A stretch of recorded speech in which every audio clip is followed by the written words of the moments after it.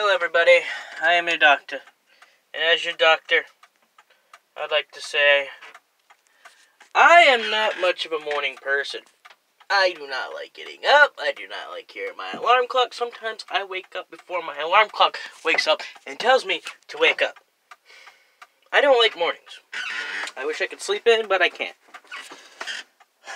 Another thing that kind of leads to all this. I don't like traffic. I don't like the interstate, but you gotta do what you gotta do, right?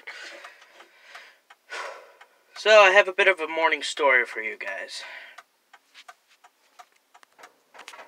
So, my morning story goes like this. I'm driving to work. Against my will, I guess. I don't know.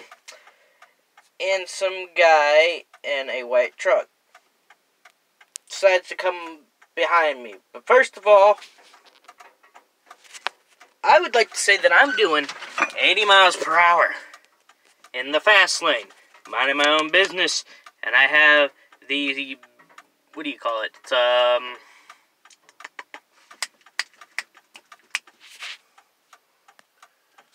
cruise control. That's what you call it, cruise control. I have that on, 80 miles per hour. I'm driving, half asleep, cup of coffee with me, trying to stay awake. This guy behind me decides he wants to go a little bit faster. So I'm looking at him. He's on my bumper. I don't like it when you ride on bumpers. I don't even drive on people's bumpers. I don't understand why you want to drive on someone's bumper. It's scary. You could just ride into them, right? So I thought. So, this guy's driving on my bumper, right? And I just say, okay, I don't care. So he decides he's gonna race right by me, going 90 or so, and almost hit my bumper to get in front of me. And then he decides to do something that kind of scares me and confusion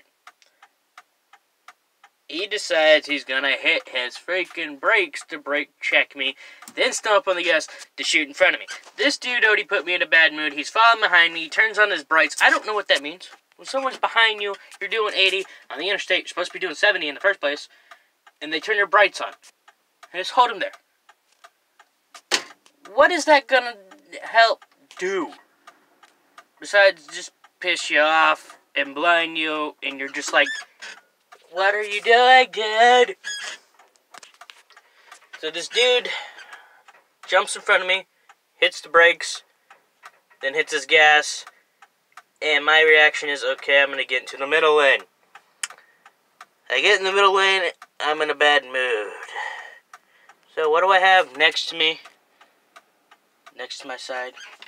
It's a little kind of big, kind of gun shape. Not like I'm going to shoot this guy. Not that crazy.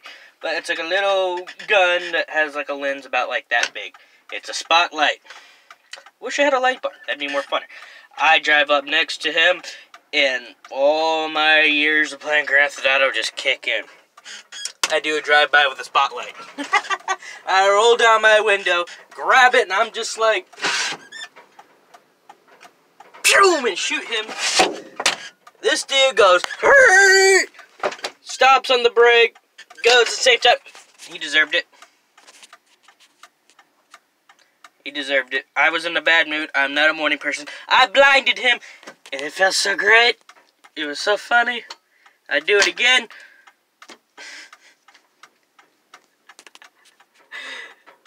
So I'm riding in the middle lane now, kind of proud of myself. Then it hits in my mind, I'm like, what if this dude's crazy too? Is he gonna race up on me? What's he do? He shoots past me, going, I don't know, I'm doing like 70, 75 now. He shoots past me, flies right by. I think I ruined his morning. I think he was done screwing with me because I was about to reach down to grab my spotlight again. I didn't see him again after that. And you know what all that adventure did to me? Did for me? After all that, and I got my laugh in, I felt good. I was kind of awake. So, guy in a white small truck, thank you. It woke me up. It kind of made my day. Gave me a story.